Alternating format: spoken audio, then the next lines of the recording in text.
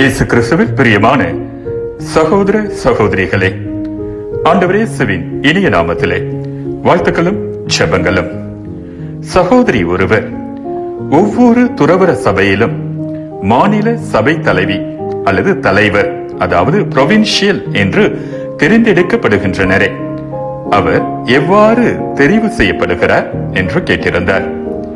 அன்பார்ந்தவர்களே லத்தீன் வழிபாட்டு முறை கத்தோலிக்க திரு அவை சட்ட தொகுப்பின் சட்ட எண் அறுநூற்றி இருபத்தி ஒன்று. சபையின் மாநிலம் அதாவது ப்ராவின்ஸ் என்றால் என்ன என்பதை வரையறை செய்கிறது.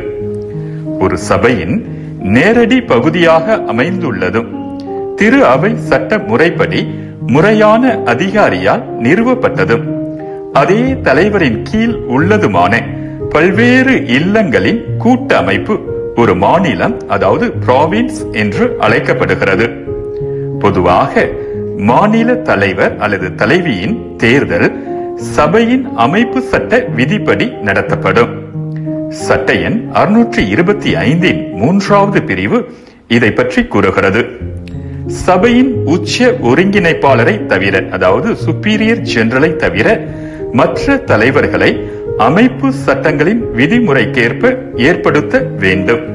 ஆனால் இது எவ்வாறு அமைய வேண்டும் என்றால் அந்த தலைவர்கள் தேர்ந்தெடுக்கப்பட்டால் தகுதி வாய்ந்த உயர் தலைவரின் உறுதிப்படுத்துதல் அவர்களுக்கு தேவைப்படுகிறது.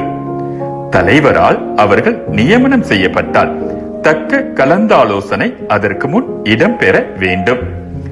மீண்டும் மற்றொரு கேள்வி பதிலோடு உங்களை சந்திக்கும் வரை விடை பெறுகிறேன். ஆண்டவர் இயேசு உங்களையும் உங்கள் குடும்பங்களையும் நிறைவாய் ஆசிர்வதிப்பாராக.